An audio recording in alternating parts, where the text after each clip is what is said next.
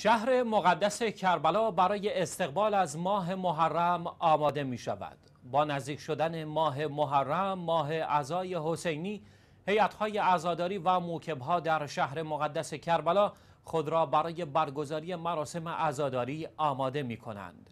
خیابانهای منتهی به حرمهای متحر حضرت سید الشهدا علیه السلام و حضرت عباس علیه السلام شاهد برپا ساختن موکبهای خدمت رسانی به میلیون ها زائر شهر مقدس کربلا در ایام سوگواری محرم هستند.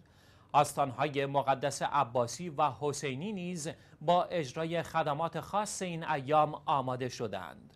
آستان مقدس حسینی تمام سطح حرم حسینی را با نایلون کشی و پهن کردن موکت های قرمز رنگ مخصوص این ایام و عزاداری های روز آشورا پوشش داده است.